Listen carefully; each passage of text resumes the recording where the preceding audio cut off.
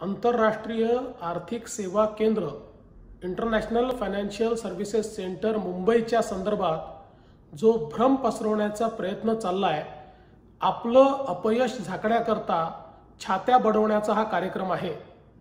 दोन हजार सातच्या फेब्रुवारीमध्ये मुंबईला आर्थिक सेवा केंद्र इंटरनॅशनल फायनान्शियल सर्व्हिसेस सेंटर सुरू करण्याच्या संदर्भातला परसी मिस्त्री कमिटीचा हाय पॉवर कमिटीचा रिपोर्ट हा केंद्र सरकारकडे सबमिट झाला दोन हजार सातपासनं दोन हजार चौदापर्यंत कुठलीही कारवाई राज्य सरकारने व केंद्र सरकारने केली नाही. साधं एक पत्र देखील त्या संदर्भातला अर्ज देखील पाठवण्यात आला नाही. दरम्यानच्या काळात दोन हजार सात सालीच गुजरातचे तत्कालीन मुख्यमंत्री माननीय नरेंद्रभाई मोदी यांनी गांधीनगर अहमदाबाद या ठिकाणी international financial services centre gift सिटीची घोषणा केली. त्याच्यावर कन्सल्टंट अपॉइंट केला. दोन हजार बारापर्यंत त्याची सगळी कारवाई पूर्ण केली. त्याचं काम सुरू केलं. दोन हजार चौदाला केंद्रात आणि राज्यात सरकार बदलल्यानंतर नवीन सरकारनं त्या ठिकाणी केंद्र सरकारकडे अर्ज केला. आणि फायनान्शियल सर्व्हिसेस सेंटर हे महाराष्ट्रात यावं मुंबईला यावं अशी मागणी केली. दोन हजार पंधराच्या दरम्यान केंद्र सरकारने एस झेडच्या कायद्यात बदल करून फायनान्शियल एस झेडला मान्यता देत भारतामध्ये फायनान्शियल सर्व्हिसेस सेंटर उभारता येईल अशा प्रकारची व्यवस्था उभी केली. त्याच्या अंतर्गत गुजरात सरकारने गिफ्ट सिटीचा प्रस्ताव दाखल केला. आपणही महाराष्ट्राचा मुंबईचा प्रस्ताव दाखल केला. गिफ्ट सिटीचा प्रस्ताव अत्यंत ॲडव्हान्स स्टेजला होता त्यामुळे त्याला मान्यता मिळाली.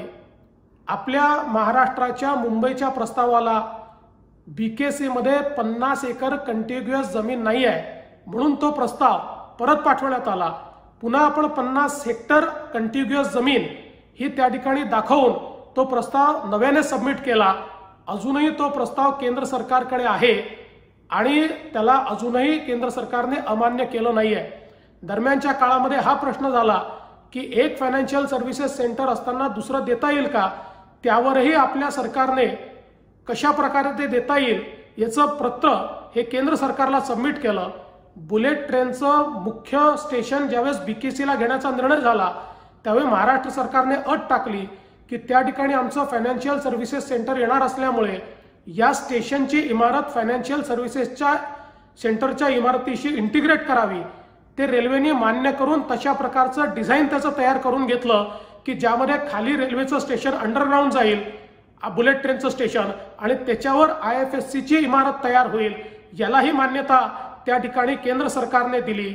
आणि आता जो अहमदाबादमध्ये मुख्यालय करण्याचा निर्णय आहे डिसेंबर दोन हजार एकोणीस रोजी संसदेने एक अथॉरिटीचा कायदा मंजूर केला जी अथॉरिटी सर्व प्रकारच्या फायनान्शियल सर्व्हिसेस सेंटरला गव्हर्न करेल. आणि या कायद्याच्या अंतर्गत त्याचं मुख्यालय अर्थातच gift city already financial services centre म्हणून दोन हजार सोळापासून एस्टॅब्लिश्ड आहे. तिथे कामकाज चालू आहे. आणि म्हणून त्या ठिकाणी त्याचं मुख्यालय झालं आहे. त्यामुळे हा काही आज झालेला निर्णय नाही आहे. या सगळ्या गोष्टी माहिती असताना स्वतःचं अपयश लपवण्याकरता आपण स्वतः एकही कवडीचं काम केलं नाही हे लपवण्याकरता आता अशा प्रकारे मोदीजींच्या सरकारवर त्या ठिकाणी ठिकरा फोडण्याचं काम चाललं आहे माझी राज्य सरकारला आणि या सगळ्या नेते मंडळींना आत्ताही विनंती आहे की आपण आताही प्रयत्न करू शकता. अनेक देशांमध्ये दोन फायनान्शियल सर्व्हिसेस सेंटर आहेत.